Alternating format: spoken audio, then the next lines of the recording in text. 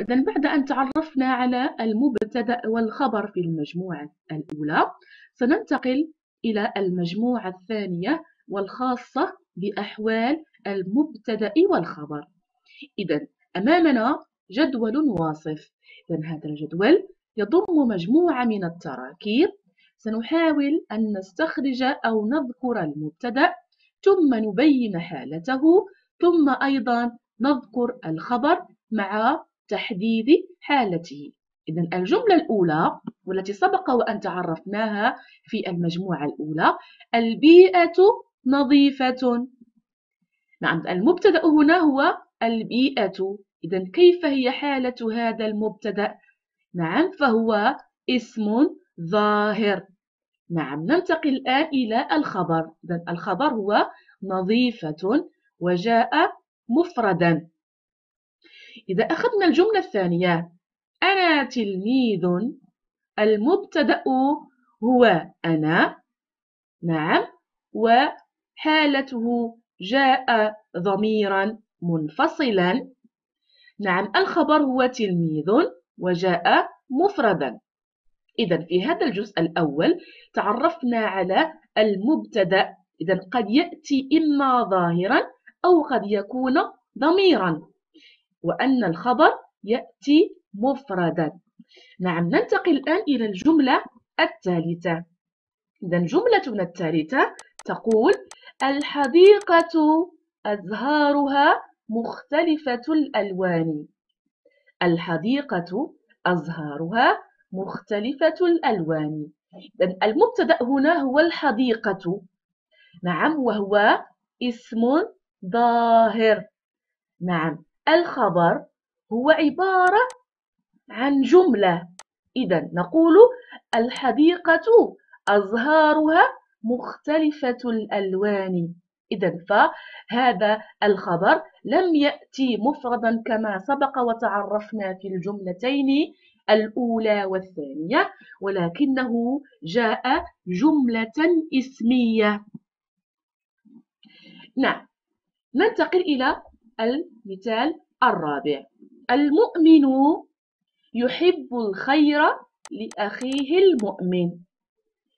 إذا المبتدأ هنا هو المؤمن. نعم وحالته جاء اسما ظاهرا. ثم لدينا الخبر جاء جملة فعلية. لماذا؟ إذا نقول المؤمن مباشرة بعدها هناك فعل. يحب الخير لأخيه المؤمن. إذا الخبر هنا جاء جملة فعلية. نعم الجملة الخامسة. الحرمان في الكسل. الحرمان في الكسل. إذا المبتدأ هو الحرمان. نعم جاء اسما ظاهرا. نعم والخبر جاء هو في الكسل. نعم إذا في الكسل فهو ليس بجملة ولكنها شبه جملة من الجار والمجرور في الكسل ثم تبقت آخر حالة قد يأتي عليها الخبر وهي الجملة السادسة.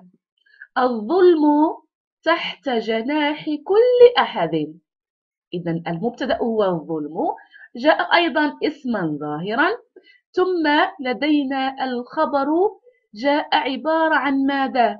نقول تحت جناح كل أحد نعم وتحت هي عبارة عن ماذا؟ هي ظرف نعم ظرف ماذا؟ ظرف مكان إذا الخبر جاء عبارة عن شبه جملة من الظرف إذا الأحوال المبتدأ والخبر. إذا نقول أن المبتدأ قد يأتي اسما ظاهرا كما يمكن أن يأتي أيضا ضميرا.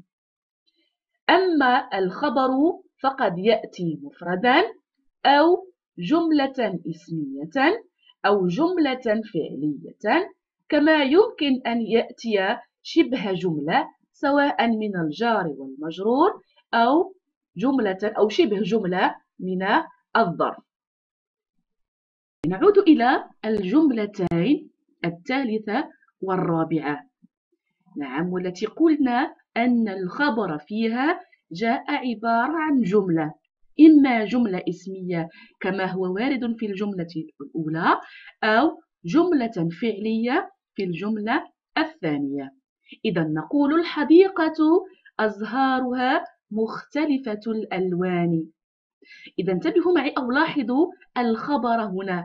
إذا الخبر كما قلنا جاء جملة اسمية وهذه الجملة الاسمية كما تلاحظون أنها اقترنت أو بها ضمير الغائب ها إذا هذا الضمير الذي جاء في هذه الجملة سواء الجملة الأولى أو الجملة الثانية عندما نقول يحب الخير لأخيه المؤمن فالهاء هنا هي هاء الغائب وتعتبر أو تسمى بالرابط.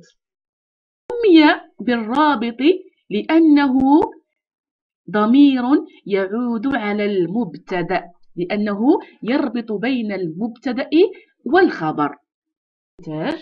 إذا خبر المبتدأ يكون مفردا أو جملة فعلية أو اسمية أو شبه جملة من الجار والمجرور أو الظرف. والخبر المفرد وما ليس بجملة أو شبيها بالجملة. ويجب أن تشمل جملة الخبر على ضمير يربطها بالمبتدأ وقلنا يسمى بالرابط. إلى هنا أعزائي التلاميذ نكون قد وصلنا إلى نهاية الحصة. دائما على أمل اللقاء بكم في حصة مقبلة إن شاء الله. أذكركم بكتابة الدرس ثم إنجاز التطبيق المتواجد على الصفحة 59 بعد المئة. ودمتم في رعاية الله وحفظه والسلام عليكم ورحمة الله تعالى وبركاته.